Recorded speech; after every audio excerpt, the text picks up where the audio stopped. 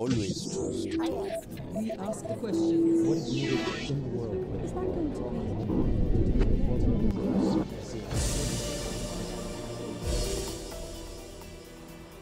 Thirty-two million tourists came to Barcelona last year. The city of 1.6 million is known around the world for its modernist architecture, World Heritage sites, and its football team, Barca. But not everyone is happy about the high number of visitors. Barcelona's appeal to foreigners and their money has led to high property prices. Locals say it's becoming nearly impossible to find affordable housing. At the peak of the Spanish financial crisis, thousands were evicted from their homes for falling behind on their mortgage. Some protesters formed human chains around properties to prevent the city authorities from evicting homeowners. The person leading those protests was Ara Colau. Supported by her anti-eviction group, Colau decided to run for mayor of Barcelona and against all predictions, she became the city's first female mayor in 2015. The activist turned politician promised to control the tourism industry by limiting the number of visitors, banning licenses to build new hotels, and increasing taxes on vacation rentals. But with tourism accounting for 14% of Barcelona's economy and Spain facing a youth unemployment rate of 42%, the mayor is facing a dilemma. Can she really reclaim the city for its residents? The mayor of Barcelona, Ada Colau, talks to Al Jazeera. Mayor Ada Colau, thank you for talking to Al Jazeera.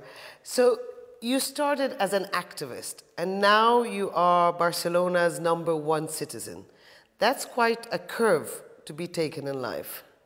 Doncs sí, és un gran canvi i a més és un gran canvi que jo no havia imaginat a la meva vida perquè no havia pensat en ser alcaldessa ni tan sols havia pensat en, en estar en un partit polític ni en entrar en les institucions. Ha estat una decisió que s'ha produït eh, en molt poc temps. No?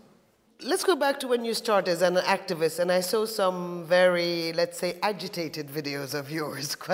um, you, did, you started by advocating for victims of mortgages. Why specifically that? Bé, a, a l'estat espanyol hem viscut una crisi econòmica molt dura de la que encara no hem sortit, no? I la crisi econòmica a l'estat espanyol ha estat molt vinculada al mercat immobiliari i al mercat de les hipoteques. Uh, segurament és on la crisi de l'habitatge i de les hipoteques a tota Europa ha estat més fort, ha estat a l'estat espanyol.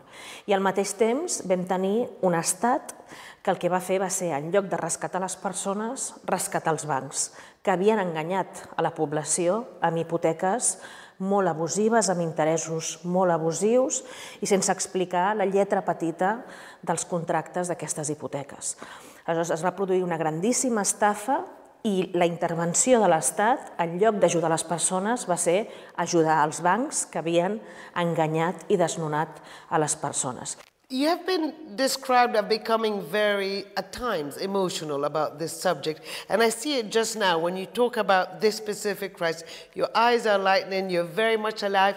It's nearly as if it touches you close to home or someone around you, something happened around you that affected you about this subject. Bueno, en el passat, no en aquesta crisi financera, en una crisi anterior, sí que la meva família va estar en risc de, de ser desnonada, no va arribar a ser desnonada, però va estar en risc, i en tot cas sí que conec molt de prop eh, el problema de la pobresa i, de, i, de, i dels desnonaments, i un cop, a més, eh, vaig començar a ser activista en temes d'habitatge, vaig viure en primera persona moltes, moltes injustícies. No només vaig viure injustícies, també vaig viure la part bonica que té molt a veure amb el fet de que avui jo sigui alcaldessa de la ciutat, que va ser veure com molta gent que ho havia perdut tot, molta gent que semblava que mai més podria refer la seva vida, la gent més pobra es va juntar i va aconseguir coses que semblaven impossibles. No? I això és el que em va convèncer de que efectivament la gent que mai hem tingut poder econòmic, ni poder mediàtic, ni poder polític, com és el meu cas, perquè sóc d'origen humil, sóc de classe popular, no?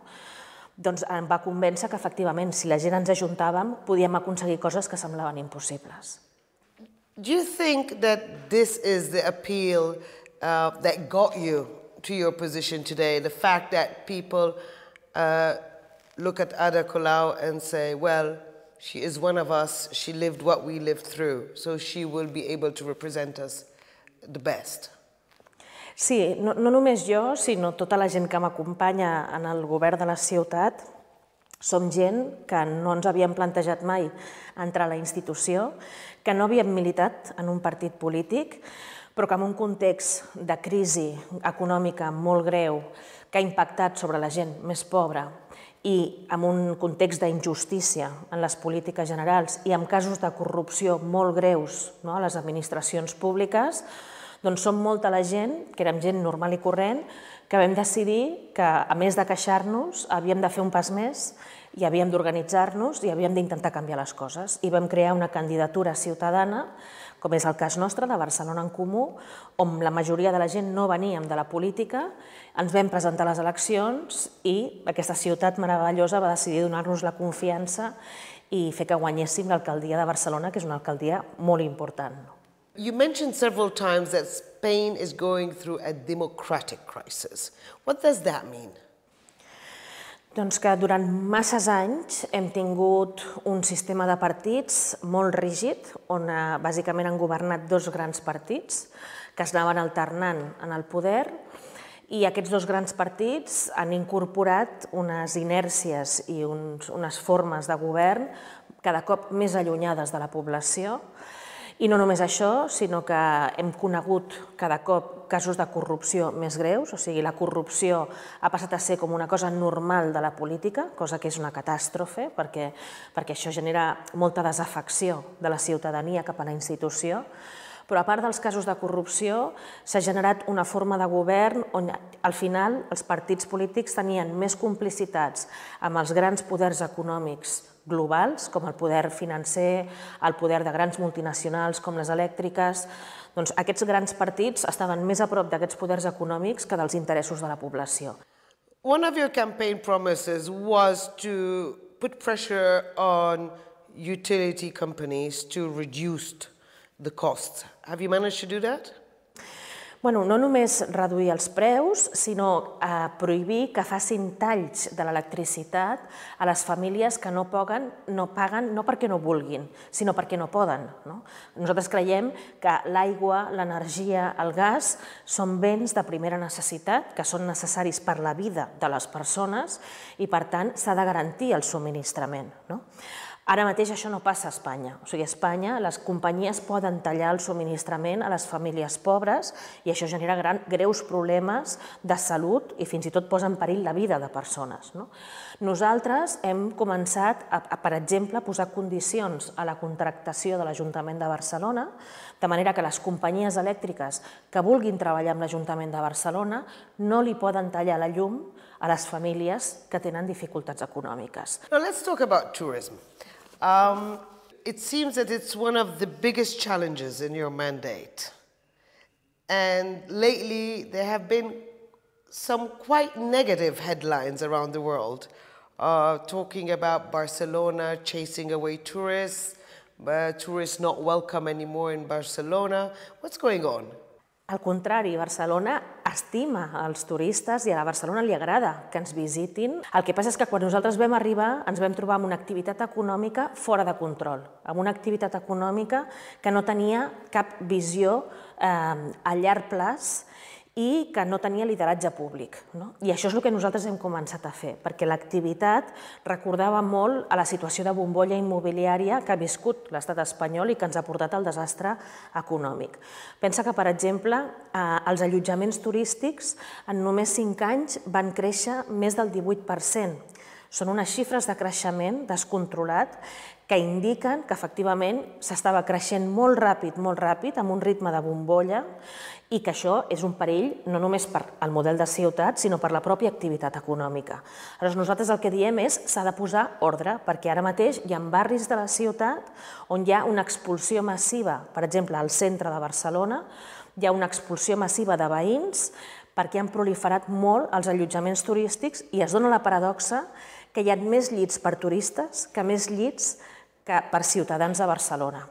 I això és un problema per tothom, no és només un problema pels veïns que els hi pugen els preus de les cases, han de marxar, sinó que és un problema també pels turistes. Nosaltres hem fet una enquesta als, als turistes que ens visiten i la immensa majoria dels turistes posen una nota molt alta a la ciutat de Barcelona, li posen gairebé un 9, de 0 a 10, però després, quan li preguntes què és el que menys t'ha agradat de Barcelona, en una enquesta de 6.000 turistes, el 60% van dir que havien vist massa turistes. O sigui que fins i tot els turistes diuen que el problema és quan vas a visitar una ciutat i tens la sensació de que no la coneixes perquè el que estàs veient són només negocis per turistes, hotels per turistes i turistes al carrer. Aleshores, el que volem és un model equilibrat. Nosaltres el que volem és posar ordre i dir en el centre no poden haver-hi més hotels, però sí que n'hi poden haver a la perifèria i el que fa falta és regular amb una visió de llarg plaç perquè aquest turisme doncs, sigui sostenible al llarg del temps no? i no acabi generant una ciutat sense veïns, sense ciutadans, que només està feta pel turisme, perquè això no agrada ni tan sols als propis turistes. No? That is something that is happening to many tourist cities Yes. in Europe, isn't it? Um, but going back to people renting their houses, doesn't this happen also out of financial need? Aren't they doing that because of the economic crisis? Bueno, hi ha, hi ha situacions diferents. Um, de fet, nosaltres, és veritat, estem compartint l'estratègia per com regular el turisme amb moltes altres ciutats que estan en situacions molt similars, com New York, com Amsterdam, com Berlín, París. No? Estem treballant conjuntament perquè tenim una situació molt similar. Okay. I, I el tema és que una cosa són els hotels, una altra cosa són els apartaments turístics, és a dir, cases que no són cases per la gent, sinó que són cases només per turistes, i una altra cosa és que hi hagi algú que llogui una habitació de casa seva per, eh, durant uns dies a l'any, doncs, poder tenir un, un complement econòmic que li ajudi no, a pagar la casa. Són situacions molt diferents. Nosaltres el que hem dit és, primer, necessitem que les cases siguin per viure-hi, no? necessitem que la gent visqui en aquestes cases. I aleshores es pot regular alguna manera de que les persones que viuen a casa seva puguin llogar una habitació durant un temps.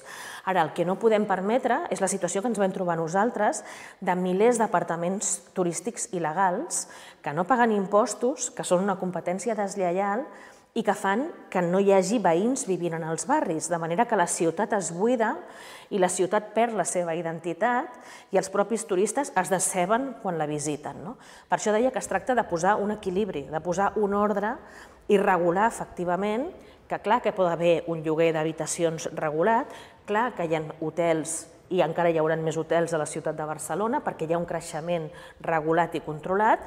El que no pot haver és la situació de descontrol absolut que ens vam trobar nosaltres, que estava expulsant massivament a la població i estava fent mm, que la ciutat eh, pugessin els preus moltíssim de l'habitatge, encara avui és un dels principals problemes que tenim, que la gent jove de la ciutat, no només la gent pobra, sinó la gent jove, les classes mitjanes, marxen de la ciutat perquè no poden pagar els preus de l'habitatge. I això és un problema per la ciutat, perquè una ciutat sense gent jove és una ciutat que no té futur. And just my last question on this uh, tourism issue. Uh, it's about hiking the prices for one day visitors, for cruise ship passengers. Aren't you afraid that they might go somewhere else? A veure, el, el turisme genera molts beneficis a la ciutat, i això és molt positiu, però també genera despeses a la ciutat. Quan hi ha un turisme de masses, com el que estem parlant ara, no? de milions de persones que visiten la ciutat, es genera molta despesa de neteja, de seguretat, d'ús de l'espai públic, i això, evidentment, la ciutat necessita un recurs econòmic per compensar tota aquesta despesa que es genera. I per això hi ha un impost turístic, que no el posa l'Ajuntament de Barcelona, el posa la Generalitat de Catalunya, no? i que cogestionem entre els dos perquè aquest impost serveix precisament per pagar aquests serveis. Aquest impost fins ara només s'ha aplicat a les pernoctacions, a la gent que dorm en un hotel. Però clar, hi ha milers d'usuaris, milers de turistes que com que no dormen en un hotel, perquè per exemple poden venir amb un creuer, utilitzen els serveis de la ciutat, no? eh, però en canvi no estan pagant aquest petit impost turístic, que, és, que en realitat és molt menor comparat amb la despesa que fan a la ciutat. Clar, la ciutat necessita utilitzar algun tipus de fiscalitat per compensar tots aquests serveis que, si no, han de pagar els ciutadans de Barcelona no? I, i, i precisament els impostos serveixen per redistribuir aquesta riquesa que genera amb el turisme, perquè si no estem una altra vegada amb el mateix de sempre, que és que el turisme genera molts beneficis, però molt mal repartits, no? perquè es queden en grans eh, cadenes hoteleres, en grans eh, operadors internacionals que fan molts beneficis amb aquest turisme i la ciutat també s'ha de veure compensada per aquest turisme per poder repartir els beneficis. Igual que una altra cosa que estem treballant nosaltres ara també amb les empreses que es dediquen al negoci turístic és eh, com millorar les condicions laborals, perquè tampoc és just que el turisme generi tants milions de benefici a la nostra ciutat, però que després les cambreres que netegen les habitacions als hotels o els cambrers que tenen en els bars i en els restaurants tinguin salaris de misèria o no estiguin assegurats. No? Per tant, hem d'aconseguir que aquest turisme doncs, generi beneficis pel conjunt de la ciutat i no només per uns pocs. You're the first female mayor of Barcelona and now in September there's a very important date looming uh, for Catalonia in general, which is the referendum. We don't have an exact date, but according to the president of Catalonia, it will happen. Uh, what's your position on that? Bé, nosaltres sempre hem defensat que hi ha, que hi ha d'haver un referèndum, però no perquè ho digui un president o perquè ho digui una alcaldessa, sinó perquè portem ja molts anys d'una situació institucional de bloqueig, no? d'una situació institucional que no funciona entre Catalunya i l'estat espanyol, i, a més, un, portem uns anys de manifestacions massives de milions de persones que de forma pacífica i de forma cívica han sortit al carrer en les manifestacions d'Europa segurament més grans que s'han fet a favor no, d'aquesta necessitat de poder decidir democràticament quina relació han de tenir Catalunya amb l'Estat. I per tant nosaltres sempre hem dit, en la mesura en què som demòcrates, no? hi ha gent que és independentista i hi ha gent que no és independentista, però com a demòcrata, jo per exemple no he estat mai independentista, però com a demòcrata sí que crec que la ciutadania ha de decidir els, les grans qüestions en democràcia. I hi ha una gran majoria social, al, al voltant del 80% de la població de Catalunya, que veu que la relació entre Catalunya i l'Estat no funciona i que demana poder-ho resoldre a través d'una votació. El problema és que l'Estat està completament, eh, es nega completament a atendre aquesta petició i ara estem en una situació de, de bloqueig. No? Nosaltres volem que es faci aquest referèndum i que es faci de manera efectiva, o sigui, de manera que efectivament el conjunt de la població pugui, no, de, de forma respectuosa, amb totes les diversitats d'opinions que puguin haver-hi, però que es pugui debatre democràticament i que una qüestió política doncs, es pugui resoldre a través d'una votació, com s'ha fet a Escòcia, com s'ha fet a, a Quebec i com s'ha fet a molts altres llocs del món. So it's very interesting that you are against independence. Is that it? No és, que no, no és que estigui en contra, sinó que no sóc independentista jo personalment, o sigui, no he estat mai nacionalista ni independentista perquè penso que en un món global com el que vivim, doncs les fronteres cada cop tendeixen a desaparèixer més, en realitat, no? I de fet estic convençuda que les ciutats cada cop més hem de tenir un paper molt més important en la governança global. Però més enllà d'això, el que sí que sóc és demòcrata, no? i que si hi ha una majoria social que vol resoldre una qüestió, eh, com és en aquest cas la relació entre Catalunya i l'Estat, doncs això s'ha de poder fer a través d'un referèndum i aleshores amb el referèndum estaré sempre compromesa. No? Let's say the yes vote wins come September. Uh, you would then not only be the first female mayor of Barcelona, but you would then be the first mayor of Barcelona within independent Catalonia. Would you keep that position or not, considering your personal views on the issue? Suposant que sortís al sí la independència, que no està clar, no? perquè quan es van fer eleccions a Catalunya la última vegada, l'independentisme va guanyar una majoria parlamentària, però no va guanyar una majoria en vots, no? i per tant és, no està clar no? si guanyaria o no la independència, està bastant igualades les posicions, i depèn molt de quines propostes hi hagin sobre la taula, però suposant que guanyés la independència en el referèndum no vol dir que es declari la independència. And Europe is also changing quite rapidly lately. Um, and on one hand, you have uh, politicians emerging like you from grassroots uh, movements. And on the other extreme, you have far right groups that are becoming more and more robust. It's nearly geographically split between the south and the north of Europe. But this polarization, uh, is it something that worries you about the future of Europe? You don't have any more that cohesion any, I ara mateix Europa està en un moment complicat on ha de decidir si realment es creu el projecte europeu i el reformula o si no Europa té el perill de, de poder-se trencar. No? I això explica en part també doncs, l'auge d'algun d'aquests moviments d'extrema dreta, de moviments racistes, que molts pensàvem que Europa no els tornaríem a veure, no? perquè efectivament Europa va sortir, després del, del procés de la Segona Guerra Mundial, d'una situació de deshumanització, de violència, de guerra global, Europa va néixer per dir mai més, mai més aquesta deshumanització, volem democràcia, volem pau i volem justícia social. Eh, en la mesura en què Europa no compleix amb aquest projecte, Europa té una gran contradicció interna. I això s'ha vist molt amb la crisi dels refugiats, també, no? on Europa està incomplint absolutament. I was, I was going to tell you that at the heart of this polarization is the issue of refugees and migrants. And mostly now around Europe, they're not welcome anymore. Yet Barcelona um, has this lonely voice. 160,000 people go down to the street saying refugees and migrants welcome. Sí, bueno, Barcelona afortunadament no està sola, perquè ja fa temps que la ciutat... But you are the loudest voice at the moment. Sí, sí, sí, som, som de les ciutats més mobilitzades i això no és per casualitat. Barcelona històricament ha sigut una ciutat que s'ha mobilitzat molt, però crec que també que és important saber que la política de refugiats avui a Europa l'estan fent només els estats, perquè són els únics que tenen competències per decidir la política de fronteres i la política d'asil. Els estats estan posant en perill el projecte europeu perquè incompleixen les seves bases quan no acullen a les persones refugiades, que les ciutats estem preparades per acollir i que ho volem fer. No? Aleshores, aquí, evidentment, hi ha, hi ha una disputa de sobiranies, no?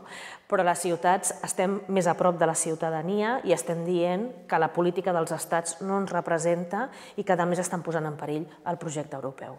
Yet the arrival of refugees has uh, brought back to the forefront, as you said earlier, um, language that was never heard in Europe maybe since the end of the Second World War, a language that you probably learned of at school, but you probably never imagined that it would become so open and so public again, right? Sí, no, no, realment és una barreja de ràbia, d'impotència, de vergonya, de vergonya de ser europea, quan quan veus que en el mar Mediterrani, on nosaltres anem amb les nostres famílies a passar les vacances a l'estiu i ens banyem a la platja, i que en aquest mateix mar l'any passat s'han ofegat més de 5.000 persones per culpa de les polítiques europees de frontera, és que se't trenca el cor, se't trenca l'estómac i se't trenca tot, no? perquè quan veus a, a nens petits, a dones, a gent gran morint ofegada eh, quan estan fugint de la violència, estan fugint del terrorisme, que després Europa diu que condemna el terrorisme, però és aquesta gent la que està fugint del terrorisme i que demana ajuda a Europa i se li tanquen les fronteres, fins i tot condemnant-la a la mort. Bueno, és una cosa que nosaltres no ens podem quedar quiets, encara que no tinguem les competències que tenen els estats, hem de fer a tot el que estigui a les nostres mans per dir que aquesta política no ens representa, que volem acollir, que podem acollir. De fet, és una vergonya, per exemple, veure com hi ha països de, de l'Orient, com pot ser l'Iban, per exemple, que està acollint a moltíssima més població refugiada, que un terç de la seva població és refugiada, i a Europa el percentatge és mínim, és a dir, estem parlant de molt poca gent refugiada de la que fins ara ha arribat a Europa respecte a la població total. Per tant, tenim molta més capacitat d'acollir i estem obligats a fer-ho. Mayor Ada Colau, thank you very much for talking to Al Jazeera. Un plaer.